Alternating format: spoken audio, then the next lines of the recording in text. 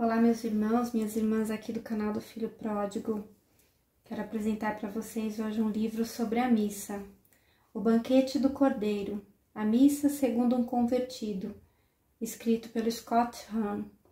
Essa versão que eu tenho aqui é a primeira edição, ele foi escrito, foi publicado em 2014 pelas edições Loyola. Ele tem 162 páginas. Eu conheci esse livro através de uma entrevista do Scott ao professor Felipe Aquino. Bom, quem é o autor? O Scott Hahn, ele é um ex-protestante, é ex-calvinista, doutor em Sagrada Escritura, especialista no livro do Apocalipse e ele também é autor de diversos livros. Por mais de 20 anos, por conta do ministério dele na igreja calvinista, ele pesquisou o livro do Apocalipse, ele estudou, e ele conseguiu é, avançar em muitas dessas linhas de pesquisa do Apocalipse, porque, como vocês sabem, tem muitas teorias em relação ao Apocalipse. E ele comenta no livro que a versão que ficou mais conhecida, inclusive até pelo cinema, são as versões, é a versão publicada por um autor chamado Hall Lindsey, que foi publicada em 1970, que é aquela visão futurista, onde tem as bestas e que as bestas são determinadas pessoas, determinados líderes políticos e que ia mudando conforme o tempo, enfim. Aí chegou a virada do milênio, né? Porque todo mundo achava que o mundo ia acabar na virada do milênio, ali de 1999 para o ano 2000, 2001, todo mundo achava que ia acabar tudo. E aí viram que essas, essas, é, todas essas linhas de, de pesquisa, nessas teorias que eles de interpretação não se concretizaram. Inclusive, o próprio autor, o Scott Hahn, ele comenta que ele chegou a beber, né, em, beber em alguma dessas vertentes e tal, mas ele nunca se sentiu plenamente satisfeito com essa linha de pesquisa. E que no processo dele de conversão, antes dele se converter, ele foi algumas vezes na missa, ele frequentava a missa mesmo sem ser é, convertido ao catolicismo. Afinal de contas, ele é um filho pródigo também, né? Ele também foi é, veio de uma outra denominação e voltou para a casa do pai, que é a igreja católica. E aí ele estava numa missa e ele ouviu, na hora que o padre levanta a hóstia, né, e fala, eis o Cordeiro de Deus. E ele entendeu que realmente tinha alguma coisa acontecendo ali, como estudioso do Apocalipse, ele compreendeu. Tem alguma coisa a ver o Cordeiro de Deus com a antecipação das núpcias do Cordeiro do livro do Apocalipse. Ele ficou incomodado e começou a avançar nessa pesquisa. Então, o que, esse livro vai apresentar para a gente? O que realmente acontece na missa, que realmente a missa ela é um banquete, que tudo que, inclusive, vai dizer que tudo que ele apresenta nesse livro é o que foi criado e preservado pela igreja a partir da visão de São João, né, de São João apóstolo, o homem que escreveu o livro do Apocalipse. O Apocalipse quer dizer revelação.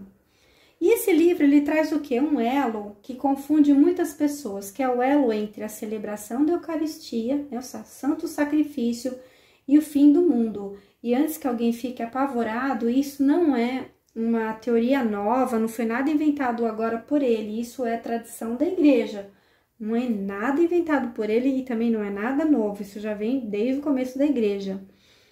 E que, que a gente vê? A gente vê como que a missa é o único meio que o cristão pode ter para compreender realmente o livro do Apocalipse, sem aqueles exageros do, do cinema, sabe, assim, da besta, dos filmes, dos líderes mundiais, vai acabar, vai acabar todo mundo, enfim, todas aquelas coisas que cada hora isso vai mudando também. Se vocês observarem, cada hora eles inventam uma nova maneira de interpretar o livro do Apocalipse. Isso causa pânico nas pessoas.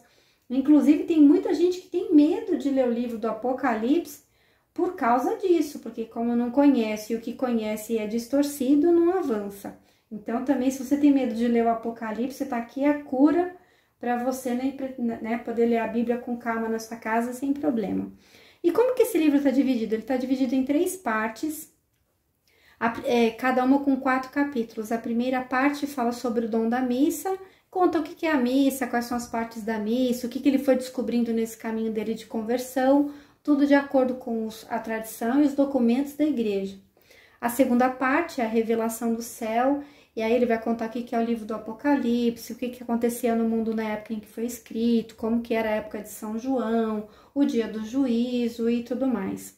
E a terceira parte, que é o Apocalipse dentro da missa. Como que o Apocalipse acontece dentro da missa? E esse capítulo, ele é assombroso para quem é tíbio, para quem tem a frieza, não consegue participar da missa com aquele fervor. Por quê? Porque ele já vai assustar falando o quê? Que a nossa liturgia, ela participa da liturgia do céu, ou seja, o que está acontecendo na missa naquele momento na missa está acontecendo tal e qual no céu. Conforme dizia São João Paulo II, a missa é o céu na terra, então na missa já estamos no céu.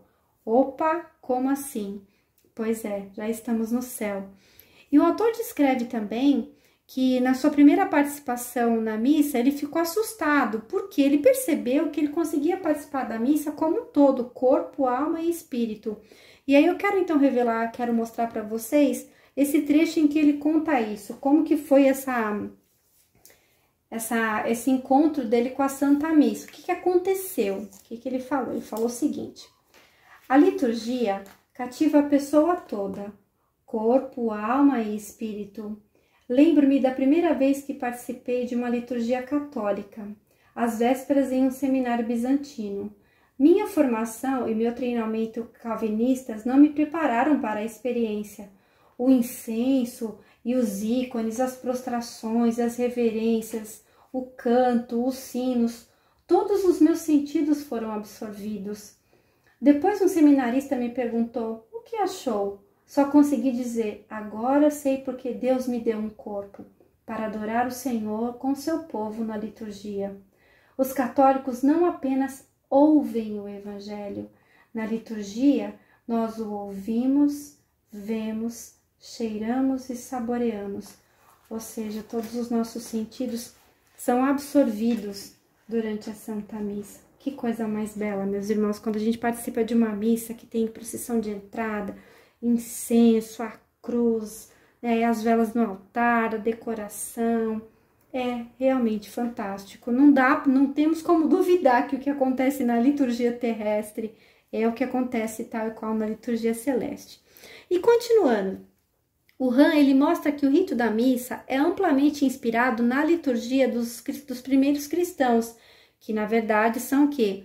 São os judeus que se converteram ao cristianismo. E aí tem um fato muito engraçado que ele conta o seguinte, que os pagãos, eles acusavam os cristãos de canibalismo e sacrifício humano. Vai vendo, olha só o que a gente passou no começo da igreja.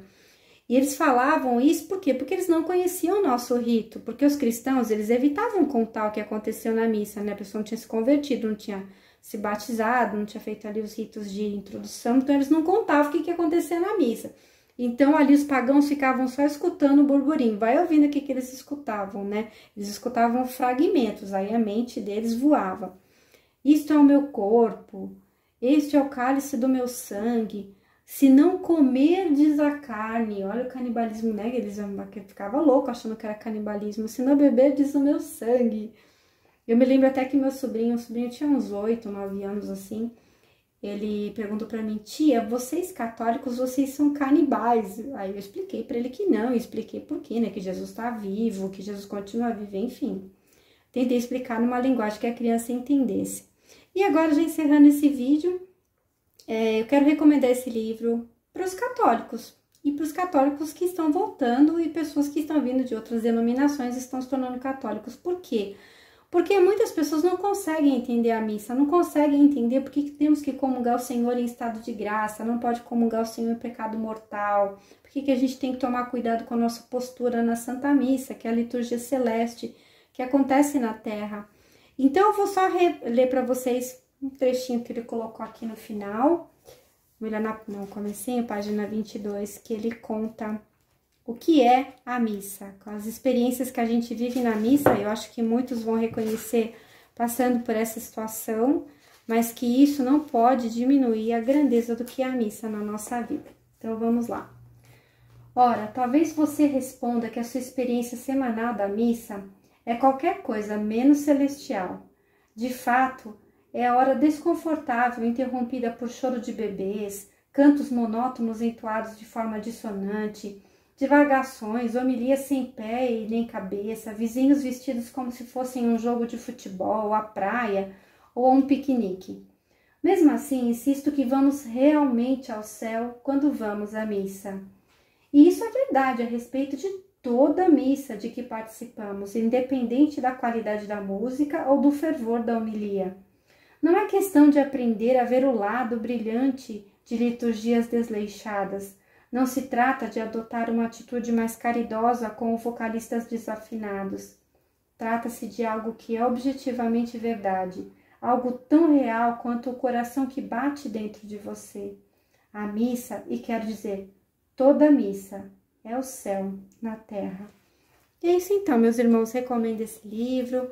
Peço que vocês é, façam esse esforço de compreender mais sobre a liturgia, né, que a nossa salvação vem da maneira como a gente comunga, como a gente entra nesse banquete do Cordeiro. Né, cada vez que comungamos, é menos de nós e mais do Senhor, e que a gente possa prestar o culto devido, da maneira correta e digna do nosso Deus, tá bom? Um grande abraço a todos, fiquem com Deus e até o nosso próximo vídeo.